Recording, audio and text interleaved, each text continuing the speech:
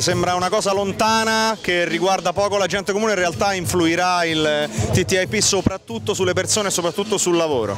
Assolutamente sì, eh, il governo italiano ha fatto sì che in Italia calasse un velo di silenzio sulle negoziazioni e allo stesso tempo ha lavorato per accelerare le negoziazioni stesse.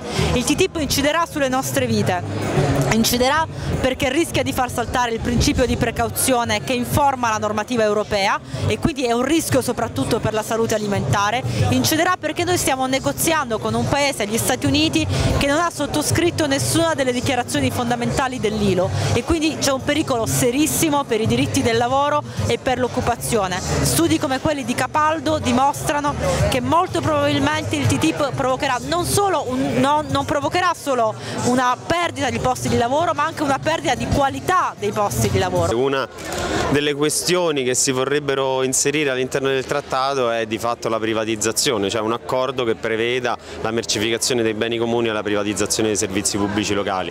Quindi per questo anche oggi siamo qui come Movimento per l'Acqua proprio per ribadire questo no al trattato, un trattato che viene discusso nelle segrete stanze europee e statunitensi che non porterà sicuramente nessun tipo di, di vantaggio alle comunità ecco, e questo è un fatto assolutamente grave anche perché passerebbe appunto sopra la testa dei cittadini. Quando nell'iniziativa che abbiamo svolto proprio qui eh, di presentazione della posizione del governo italiano sugli accordi di commercio ha, fatto, ha invitato come principali speaker italiani due persone Squinzi e Marcegaglia. Che cosa vi ricordano Squinzi e Marcegaglia? A me è una cosa molto chiara, che questo trattato, come dire, avvantaggerà alcuni, non è vero che, che fa bene o che fa male, fa bene ad alcuni, fa bene alle economie dei paesi del nord Europa e non a quelli del sud Europa, fa bene alla Confindustria e non alle lavoratrici e ai lavoratori. La battaglia contro il TTIP è una battaglia per la democrazia, in primo luogo,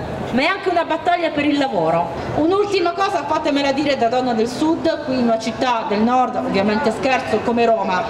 Eh, il TTIP significa mettere a rischio la nostra produzione agroalimentare. Parliamo di filiere, di produzione, di controlli, di tracciabilità, di, etichettatura, tutto viene messo a rischio per avvantaggiare le multinazionali. Allora io davvero vi ringrazio, vi ringrazio dal profondo del cuore per essere qui oggi, perché noi in Parlamento ce la stiamo mettendo tutta, noi dell'Alta Europa, loro dei 5 Stelle ce la stiamo mettendo tutta, ma se questa non è una battaglia in primo luogo di cittadinanza attiva in Italia e in tutta Europa non ce la faremo, per cui grazie a tutte e tutti voi per essere qui in piazza oggi.